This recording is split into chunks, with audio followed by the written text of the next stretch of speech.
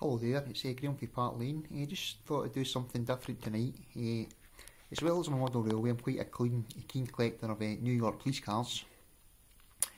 Uh, I probably have had an interest in New York police cars since my late teens, when I joined uh, Strathclyde Police, which is now Police of Scotland.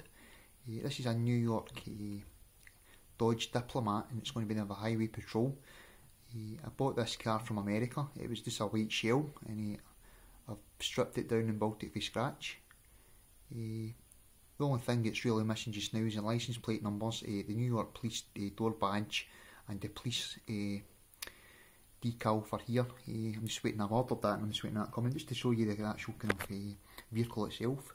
This one was based, it's in a 1983 uh, Dodge Diplomat and it was from the Highway Patrol and it's got a McDermott uh, light, uh, extending light uh, red and orange, and these were extended to, to light up and to warn our drivers uh, at incidents and accidents on the highway.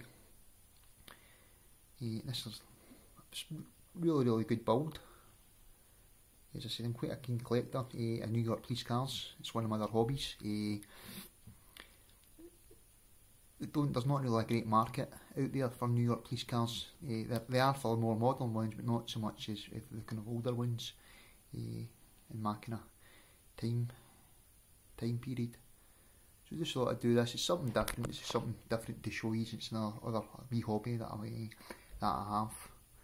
Okay, so I hope you enjoy this, and uh, I'll have another video up shortly with the Bedford Bruff. Thank you. Bye bye.